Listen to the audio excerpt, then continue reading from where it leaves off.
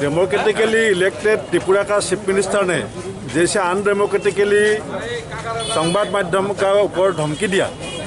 संवाद माध्यम को चुप कराने के लिए वो अपना क्षमता का जैसे मिस यूज़ किया। इसका खिलाफ हम लोग आज त्रिपुरा प्रदेश कांग्रेस कमेटी के साथ मौन प्रतिवाद किया। और त्रिपुरा का चीफ मिनिस्टर त्रिपुरा प्रदेश का सांबादिक का सामने क्षमा मांगना चाहिए।